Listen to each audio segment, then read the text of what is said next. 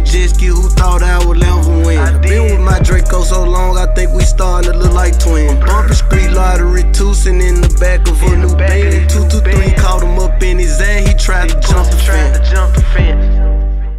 We should file a claim. Just did.